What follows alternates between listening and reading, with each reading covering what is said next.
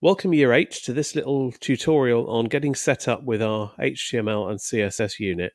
Now our normal unit that we do in class involves creating files which you store in your My Work folder and then run in the web browser. Nice and simple, you can create the pages, load in images and create your own website. We've obviously got a slight problem with that this year in the sense that people are using all sorts of different devices. So some students have PCs at home that they can create files on and work in the same way as they would in class. Other students are working on tablets or other portable devices, even mobile phones, that don't give you the same opportunity to have files stored as you would on a normal PC. So we've worked hard to try and find an online version of that that means that you can create your website, import resources, but on the web. And what we've done is we've created a template which contains the same information that you would have used in class normally from our OneNote that's pre-set up for you. And I'll come back to this OneNote help information at the end to show you a few examples of how you can do things like, for example, adding an image to a web page. Right, so the first thing we want to do is to go to a site called GitHub So what you're looking for is github.com. Okay, and on the front page of GitHub, you will notice a sign up page. And what you should do is put a username in uh, that hopefully will be different from other people. Uh, that can be anything. Um, your school email address we recommend just so that you don't get additional spam emails on your personal account, but it doesn't really matter if you use your personal account here.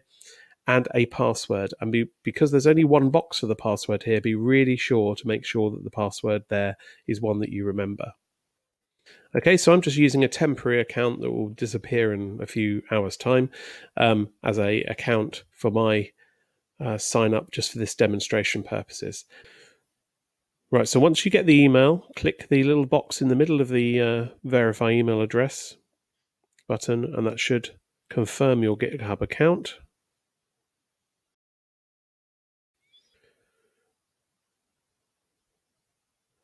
Now, Sandbox should automatically take you to this screen to allow GitHub and Code Sandbox to talk together. You may have to log in using GitHub. Because I have the window open already, it now just asks me to connect the two together. So now we have Code Sandbox logged in using my GitHub account. So that's stage one.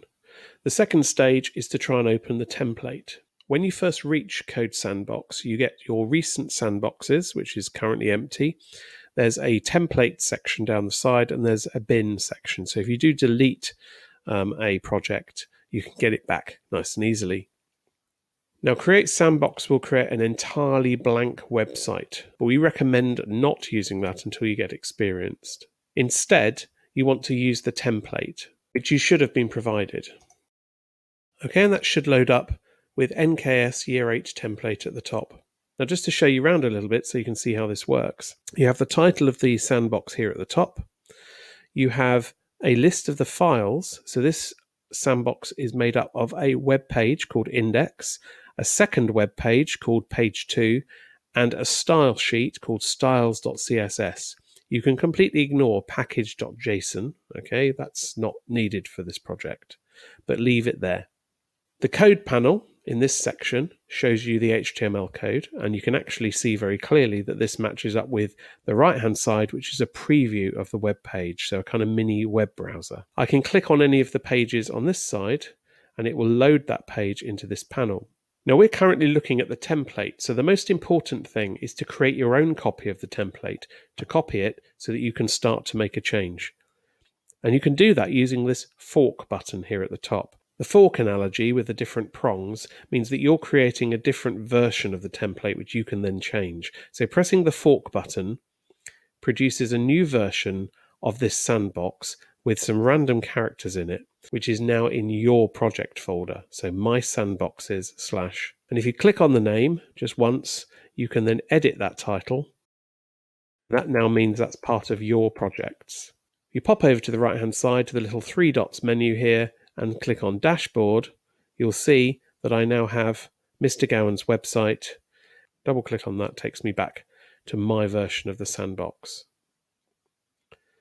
Now, from here on in, it's all about HTML. It's all about exploring how these little tags make up the page. One of the most important things, of course, is to see the link between the style sheet and the pages themselves.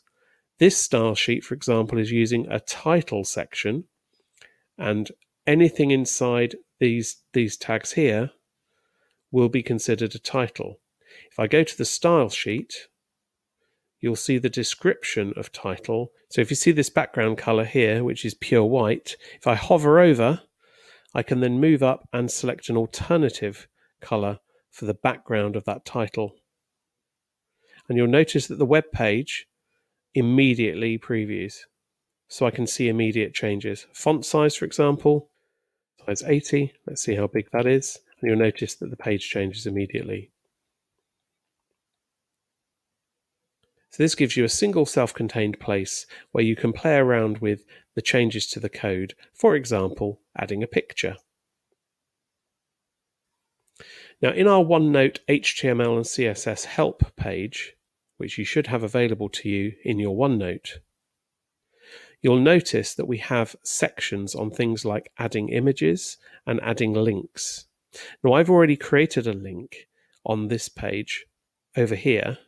Click here which is surrounded by a link tag which takes us to page2.html.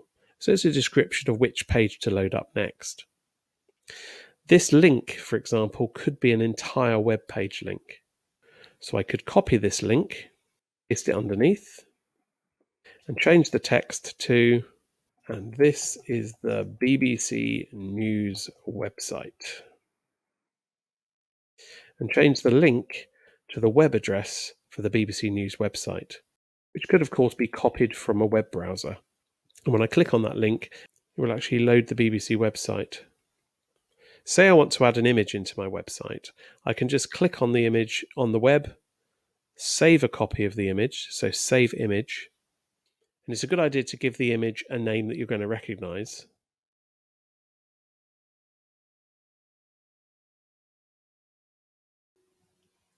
For me to use that image, I will need to add that into my list of files. So I'll press the up arrow, which is upload files, and I'll find the file that I want to upload, and I can add that image into my website down here. I can take the image code from the OneNote page and put that directly into my index page, then change the name of the picture. At the moment, you'll notice it can't find to the exact name of the image that I've uploaded. So BBC News image.jpg should now be visible. Now notice I've got a height of 300 and a width of 250. If you have both of these, it will fix the image to that particular size. And notice that makes this image appear slightly squished. If I remove the height, so I imagine I'm only really worried about the width, I can remove the height and that will automatically place, make the image that particular width, but it will make the height automatic. Notice also one little handy hint is that this little tag here, BR, okay, is a line break. This allows you to go on to the next line. So in this particular page, I would probably want to have a line break at the end of this link here, possibly an extra one, which will give me two line breaks. And then after the BBC News image, another couple of line breaks before the link. And that's how you can kind of space the page out. Part of what you're doing year eight is about using this to play around with creating web pages, to explore the different tools and tags that you can use. So use the resources that we provided to you, and also this fantastic website here, w3schools.com, which gives you lots and lots of little examples of code that you can try out, exploring the different attributes that you can work on, things like colors, adding tables, different ways of formatting pages. There's a huge amount of information here. So, the idea of this unit is to explore and play for a few weeks and then to start to build up your own little mini website. A website containing a couple of pages linked together. And I'll be sharing an example website in a little while to show you and inspire you on the kind of things you can produce. So, for the time being, get yourself logged in, get yourself signed up, get a copy of the template, and start to explore and have a little bit of a play.